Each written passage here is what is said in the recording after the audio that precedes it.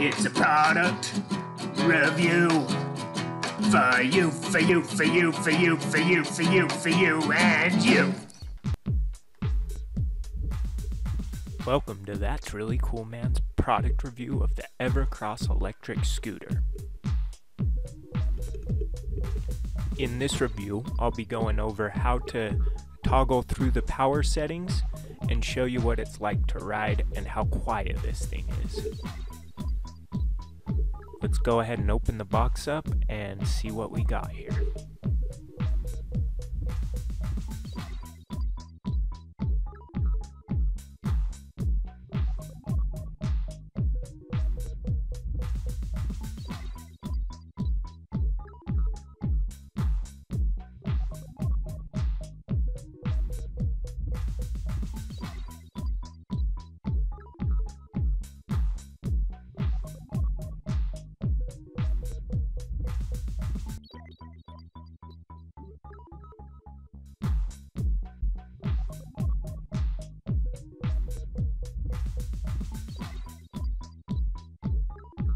Alright, so to power this on, you want to flip the on switch, make sure that's in the on position, turn the key on, and then the last step is to hold the power button here until you see it power on.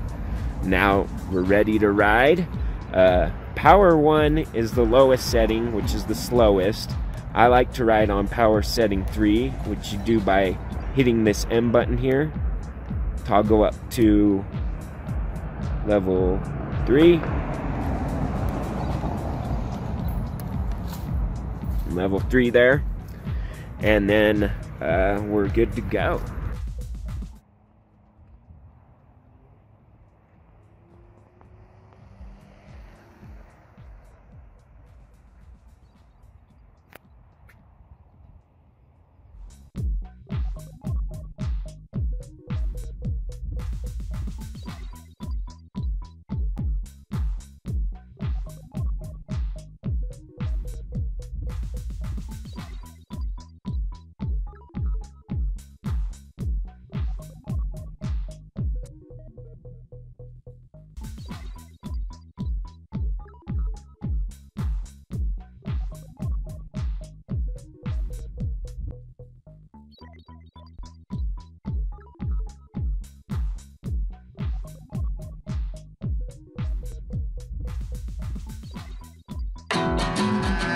Review for you, my dude.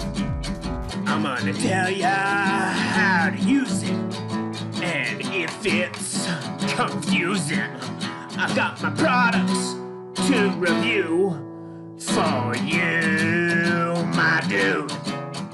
For